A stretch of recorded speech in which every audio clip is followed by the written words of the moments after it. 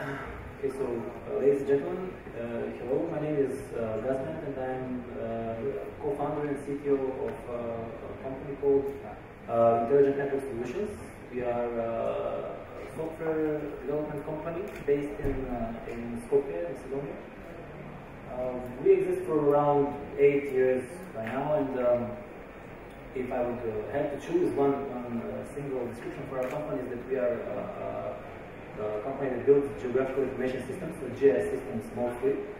Um, however, we are divided in these four directions, four pillars, what we call them, uh, which are the governmental institutions, telecom industry, fleet management, and uh, around 20% of our time we uh, devote to development of uh, cutting-edge technologies, a kind of a decision development technique. So. Um, basically we offer IT consultancy and etc. Um, as I mentioned, we work in, in Macedonia, but not only, Macedonia, we work in, in the region. Uh, we have uh, cooperated with many larger players in the, in the region, like uh, T-Mobile, uh, Slovenia, Austrian Telecom, uh, etc. Um, as I mentioned, uh, one of our four pillars is fleet management, and um, in this area we have two years of uh, intensive experience uh, with more than more than 60 satisfied customers, over 1.5 thousand vehicles active, um, in which over 900 are some lightweight vehicles, or 600 are uh, heavyweight uh, vehicles, buses, and, and yes, we, we have also implementation on a, on a tank. True story. Once we, we, we hooked a, a GPS device on a tank, rather, than crazy actually. So if you would ask me if, the business is going well, well, yes, I would say it goes great. But uh, can it be better? Of course it can be better. It can be way better. And uh, why I say this? Well, it's, it's from direct experience. When our, our sales force is going to the, to the field, there are moments when we uh, need to refuse our clients because of their specifics and specific businesses they, they lead. So, which this missing link that we uh, that we saw that the market, not only uh, in in in, uh, in Skopje or in Macedonia or in Albania or in, in the Balkans but in, the whole world. Uh, this these missing links uh, are, uh, for example, families that would like to have a cloud-based tracking of their children. you have a, a small child which has a smartphone and you would like to know if the child is safe, uh, where is, is where his whereabouts or his movements. Or if you go one level up, imagine a company which deals with security. So a company that has uh, uh, 300 uh, foot soldiers, if I could call them like this, that are patrolling the city or are securing objects throughout the country. Um, there is no way that you can give them a, strong GPS device as it requires uh, a steady battery. It's, it's something that they really need, and uh, there is no way to provide this with more than 90% of active fleet management systems. So um, if you take a look at what, what's given in the market, uh, over 90% of them are actually only for, uh, for vehicles. Um, some of the clients simply do not want to invest in additional uh, hardware if you want to deploy a, fleet management system that goes on vehicles, you need to uh, pay plus money for uh, some additional hardware, which not everybody can afford. Uh, some of the smaller companies really cannot uh, have this budget. Mm. A lot of clients, uh, in our experience, were complaining about the complexity of the systems. So uh, some of the clients want only the, the tracking other ones want to check only the driving reports. The third ones want to check the fuel level. So basically, um, what the clients usually get when they buy a fleet management system, they get a turnkey solution, but they want to buy, uh, let's say, a, a car or a, a, smaller house, and they get a complete mansion, which they will not even use, uh, 200 rooms or something. Um, and most of them, what they get a lot from our clients is the, the negotiation, high negotiations around the price. So um, when you go into fleet management uh, systems that um, deploy uh, hardware on uh, vehicles, uh, you are confronted with a client that has maybe five vehicles, ten. Uh, let's say for the sake of argument, one of the largest projects in, in Macedonia was deployment of 600 vehicles. So 600 would be kind of a, a, a top level of implementation for uh, country uh, of size as, much as Macedonia, and I guess Albania would be similar. Now, if you go back to one of our uh, requests from a company which works in security, only this one company has more than 300 people in patrol, for which they want to know where uh, they uh, are at certain point and what is their uh, current status. So this missing link is, is uh, rather big. So there is a, a, a, good portion of the market which cannot be covered with uh, a, a, large part of, of uh, solutions for fleet management that they are right now in the field. So what we did uh, to change this, well, we uh, invented InstaTrack. We call we have a product that we call InstaTrack. Um, so what on earth is InstaTrack? Uh, I will try to explain this in more details right now. Um, we can we can start with, uh, with a basic definition. InstaTrack is uh, a platform for real-time tracking of, of your fleet. Uh, but uh, what, what this means and what, what we try to, to deliver through InstaTrack is that we try uh, to make the customer an active part of, of his fleet. So um, how do we do this? Well, first of all, uh, we want to enable the, the customers with a very, very fast start. If you uh, think about the existing fleet management systems implementations, you need to uh, visit the, customer, you need to mount the devices into the vehicles, and this usually takes time. One typical installation goes at least several days.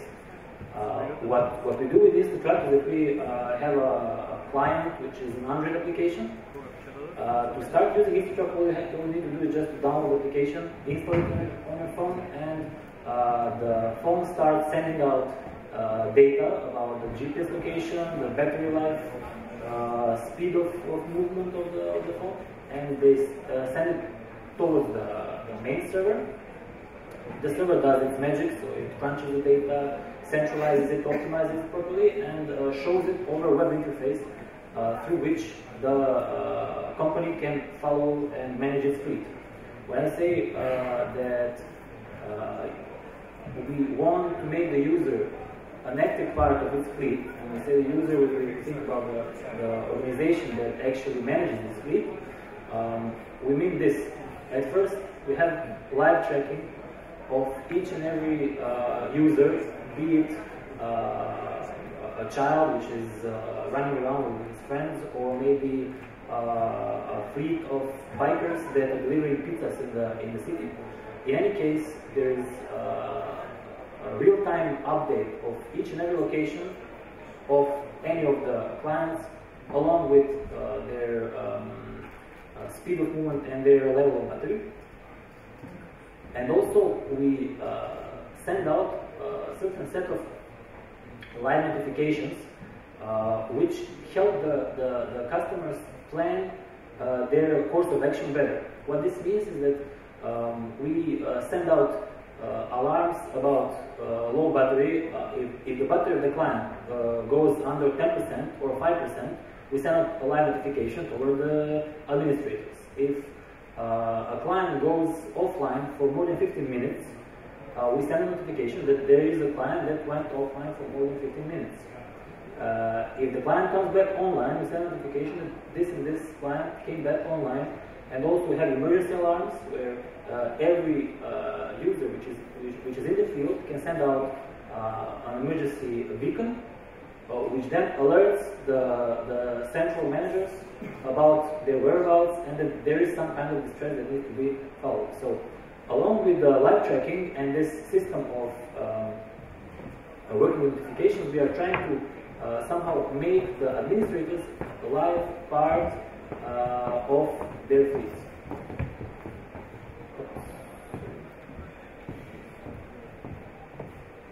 Now, uh, apart from this live, live section of, of uh, tracking, we have the complete history of movements uh, of each and every client Uh, this is actually my history of movement. So, we, arrived to Tirana uh, yesterday, uh, this is how the, the my client, actually my phone, was recording my movements.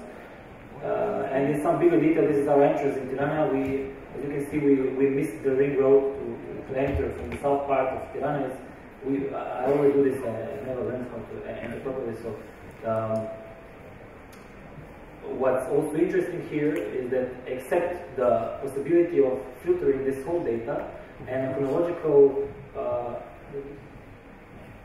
so the chronological um, uh, timeline of all the recorded information um, I, I had no network coverage in this area.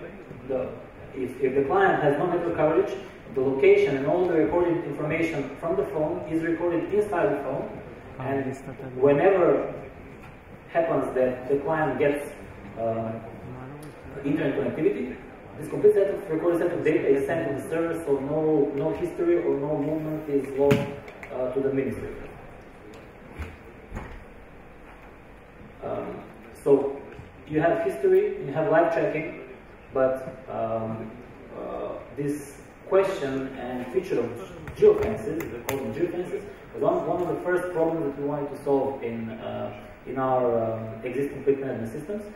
Um, so geofences are somehow like checkpoints for your uh, your fleet, fleet movements. Um, I'll give you an example. There is uh, one of our clients that has uh, um, a foot patrol, and uh, clients are, are paying them to visit certain points in the city several times during the night because they are securing them privately.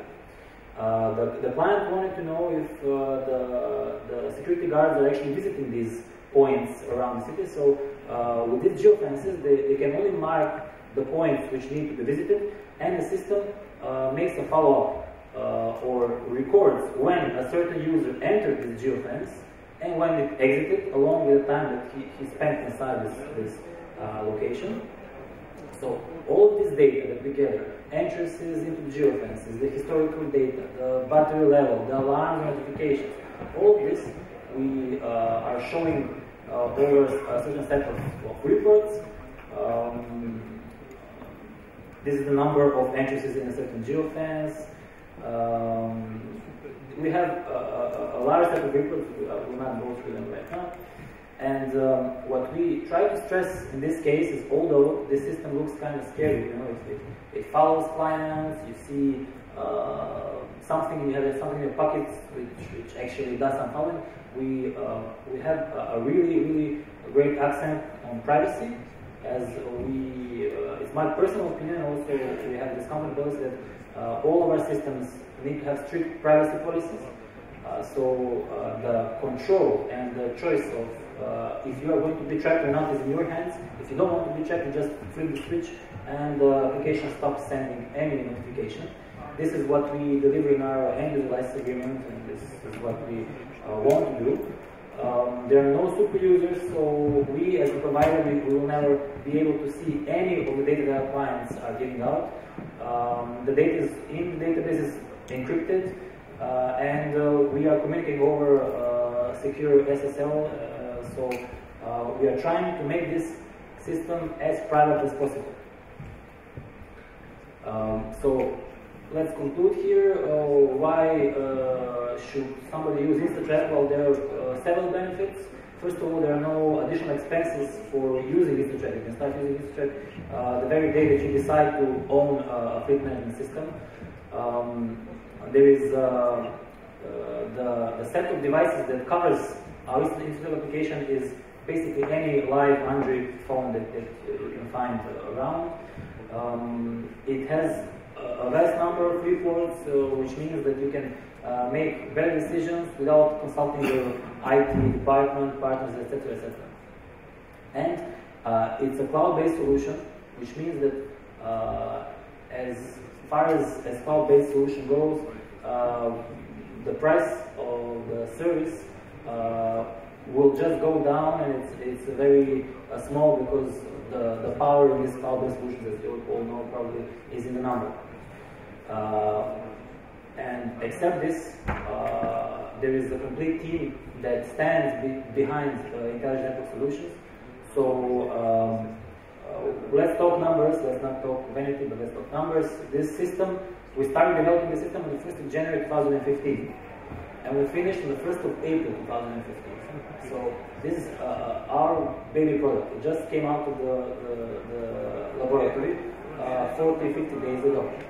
Uh, in these, um, so it was a team of six people working together.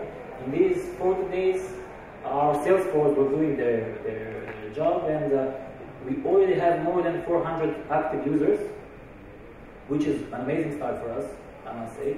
And uh, we have in the database right now, I checked yesterday, last time, we have over 3 billion locations and uh, all the tests for performances are working flawlessly, which means that uh, the system is built uh, strongly and is built to last. Um, we already have a, a, pricing model. Whoever is interested can, uh, can contact me. Uh, and um, of course, we are open for any cooperation, joint ventures, revenue share, and so on. Uh, so I would like to thank you for your time. I hope that uh, I didn't bore you too much.